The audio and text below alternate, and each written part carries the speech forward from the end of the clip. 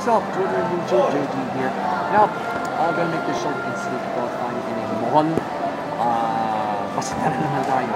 Now, it's been come to my attention that uh, network mark, uh, well, network marketing is something has a bit of economics.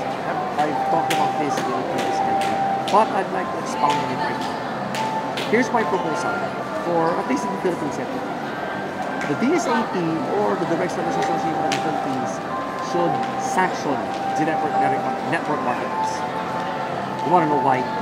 Kasi they have no, they have, they don't have their own um, identity. They don't have their own personal brand yet. And, and, okay. And more often than not, they spam people. Alright? They spam people and, they, they, they do salesy things just to get you, just to get you customers or sign-ups. Okay? It is a big disgrace to the network marketing profession, what they're doing. Now, I don't care, I do not give a shit if someone complains about this entry. This is my stand.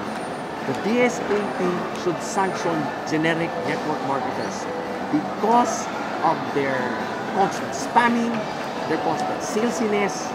Alright? It's nauseating already. Alright? The spamming and salesiness is has reached nauseating levels already. Alright? Catch you later.